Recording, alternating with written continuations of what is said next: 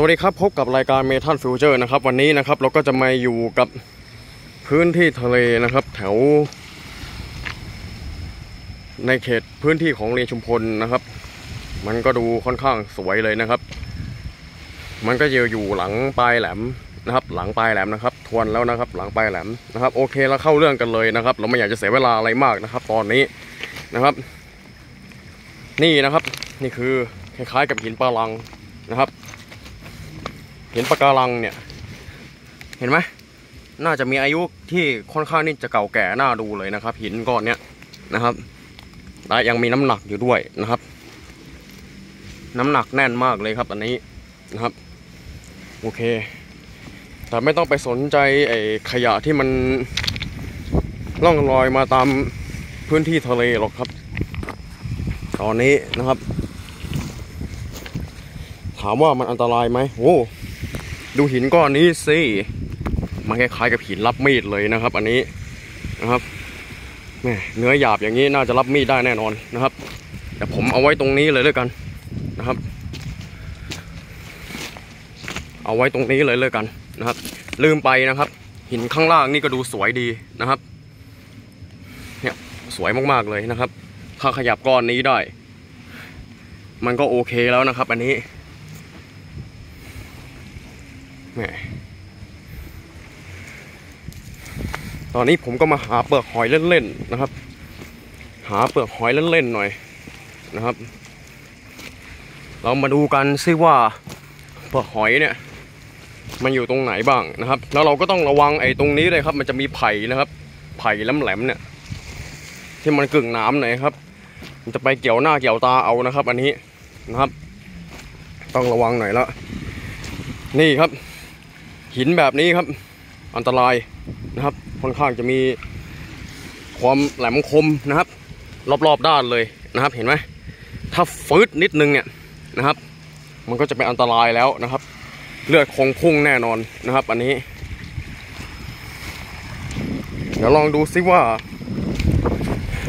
มีแต่หินสวยๆทั้งนั้นเลยนะครับ ไม่รู้ว่าจะเก็บก้อนไหนบ้างนะครับ อย่างเช่นก้อนแบบนี้ผมก็เอาไปให้กับคนแล้วนะครับ มันก็มีเยอะเหมือนกันนะครับ ให้คนอื่นเข้าไปเหมือนกันนะครับ อันนี้นะครับ ลักษณะหน้าตาอย่างนี้นะครับ เดี๋ยวผมเอาไว้ตรงนู้นเลยแล้วกันนะครับแขว้งไว้ตรงนู้นเลยแล้วกันนะครับ เผื่อน้ำมันขึ้นนะครับรู้อนาคตล่วงหน้าดีกว่าไม่รู้นะครับ รู้ทันล่วงหน้าก่อนดีกว่านะครับ มีแต่ก้อนหินนะครับ แต่หอยเนี่ย คงจะขึ้นมาตรงนี้ลำบากน่าดูเลยครับ โดยเฉพาะเปลือกหอยนะครับ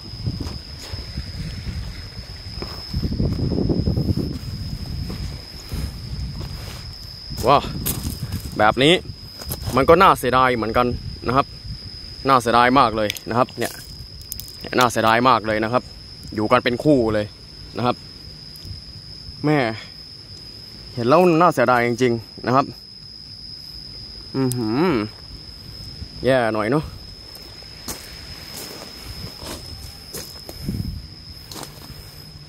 ถามว่าผมเก็บมาไหมผมก็เก็บมานะครับ แต่มันน้อยมากเลยนะครับ ที่จะเจอมันนะครับ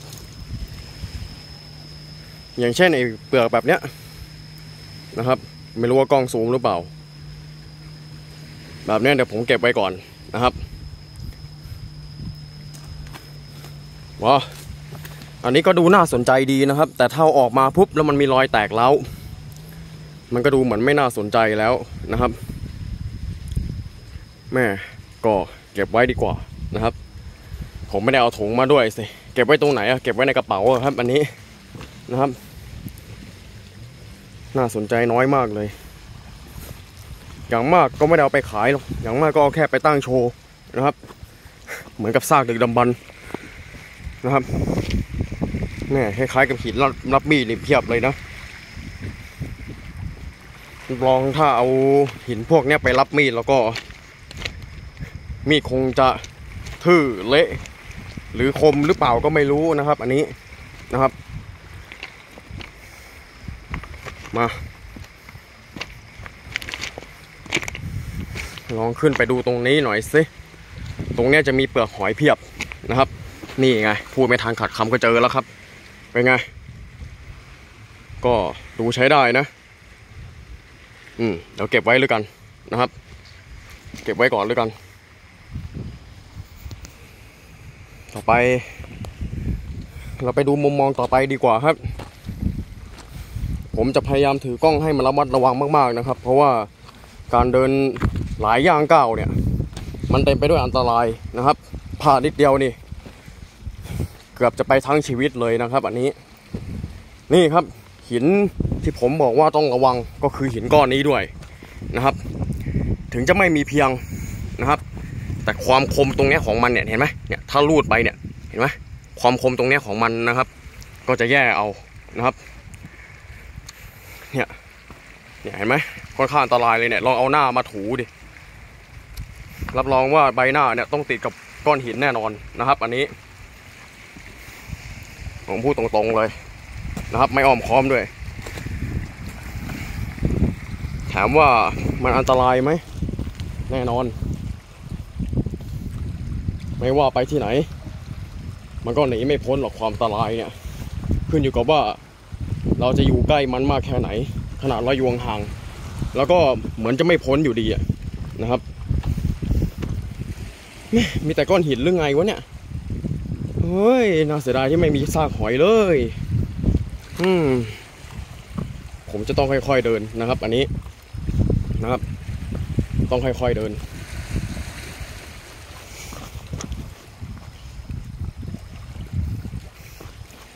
ต้องค่อยๆเดิน ต้องค่อยๆเดินนะครับ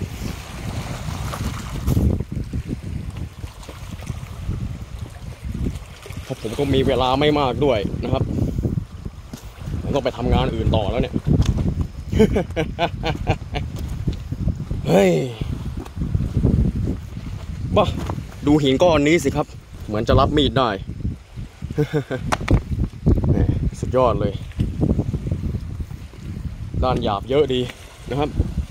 เนี่ยไม่กระทั่งก้อนแบบนี้ด้วยนะครับเนี่ยเห็นไหมรับมีดนะครับ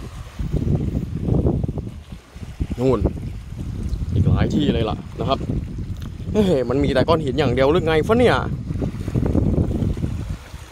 หอยนี่แทบมีน้อยเลยนะครับ อันนี้ ที่เนี่ย มันมาอยู่เป็นล้านล้านๆปีแล้วนะครับ หลายล้านปีแล้วเนี่ยแต่ก็ดูเหมือนกับว่าเป็นพื้นที่แหล่งอนุรักษ์นะครับ เออ ดูสิ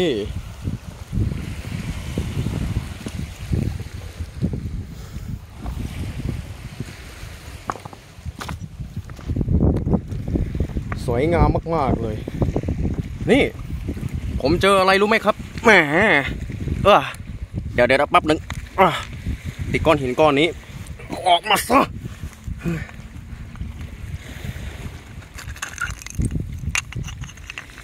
นี่ครับ นี่คือปลอกหอยอีกแบบหนึ่งนะครับ ซึ่งจะมีปะการังติดอยู่นะครับ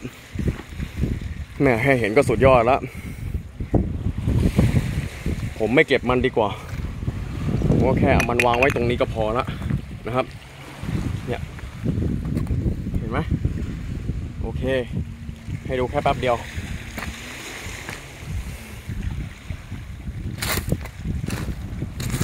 ตอนนี้เราก็มาไกล มากพอแล้วเนี่ย ซึ่งจริงๆแล้วเปลือกหอยเนี่ย ไม่รู้มันอยู่ที่ไหนกันนะครับ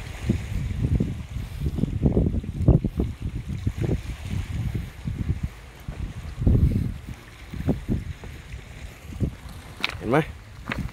ก็มีลายอย่างนี้ด้วย นี่ก็จะเป็นคลิปสดเลยนะครับ ไม่อยากจะตัดต่อนะครับ อันนี้ เดินไปเรื่อยๆดีกว่านะครับเผื่อจะได้เจอของดี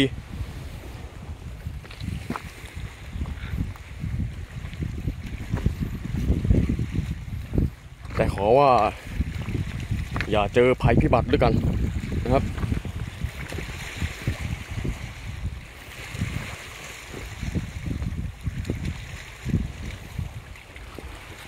ถ้าเกิดว่าพ้นจากตรงนู้นแล้วเนี่ย มันจะต้องเจออะไรหรือเปล่านะ ถ้ามันไม่เจอผมก็ต้องขอกลับแล้วนะครับแบบนี้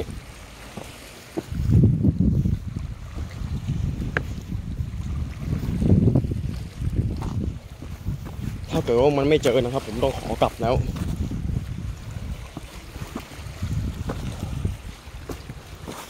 เดินไปเรื่อยๆ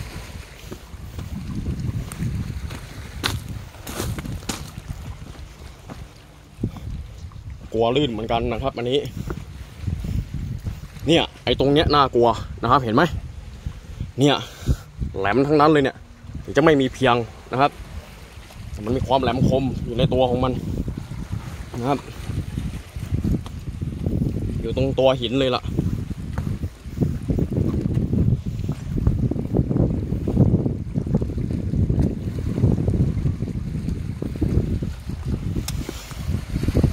นั้นคงจะไกลแน่นอนนะครับคงคงจะไปต่อน่าจะไม่ไหวแล้วล่ะนะครับเพราะอีกอย่างหนึ่งน้ำตรงนั้นอะ มันก็เต็มแล้วนะครับ อันนี้โอเคนะครับใครที่ชอบสลับคลิปนี้นะครับก็อย่าลืมกดติดตามนะครับให้เป็นกำลังใจในการทำคลิปต่อๆไปนะครับสำหรับรายการเมทัลฟิวเจอร์ก็ต้องขอตัวลากันไปก่อนนะครับ ขอขอบคุณหลายท่านผู้ชมนะครับ ที่เข้ามาดูกันนะครับ โอเคครับ ขอบคุณมากครับ สวัสดีครับ